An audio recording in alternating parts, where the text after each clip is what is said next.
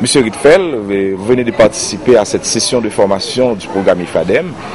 Et euh, qu'est-ce que ça a changé pour vous euh, dans vos méthodes pédagogiques, euh, vos pratiques en salle de classe?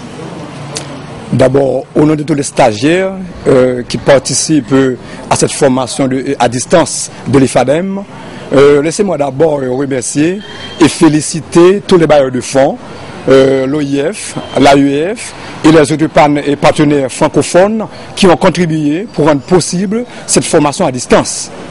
Et pour répondre à votre question, euh, sur le plan pédagogique, euh, comparablement aux années précédentes, d'autres méthodes pédagogiques et d'autres techniques nous, ont apporté directement à cette formation à distance. Par exemple, dans le euh, didactique hein, de l'enseignement euh, de la compréhension et de l'expression orale, tout ça, et ensuite euh, le renforcement linguistique et la compréhension écrite, etc. Et depuis que vous êtes dans cette formation, est-ce est-ce qu'il y a une amélioration dans la performance de vos élèves, euh, dans la compréhension française par exemple? Tout à fait, parce que euh, avec cette formation à distance, euh, les enseignants, ou encore moi personnellement, j'ai l'habitude d'enseigner n'importe comment la langue française, mais avec cette formation à distance, mes élèves s'améliorent, surtout en expression orale et expression écrite.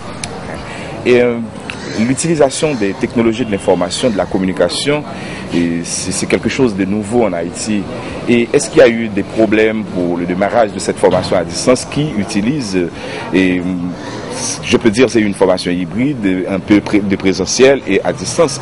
Comment ça a été pour vous? Difficile ou facile? Bon, on peut dire euh, dans un premier temps euh, facile, surtout en maîtrisant toutes les notions euh, qu'on avait l'habitude de travailler en salle de classe. Mais en second temps, on peut dire encore difficile en découvrant de nouvelles notions, encore avec d'autres méthodes d'enseigner la langue française, surtout dans la compréhension orale avec les bonnes sonores.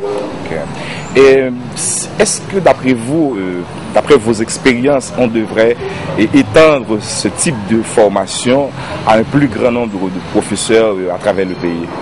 Tout à fait, parce que dans un pays comme le nôtre, nous aurons besoin toujours d'être formés. Euh, parce que euh, Haïti, d'abord, est un pays francophone. On aura toujours besoin d'être formés. Eh bien, euh, monsieur, Radio-Télévision Éducative vous remercie. Je vous remercie aussi.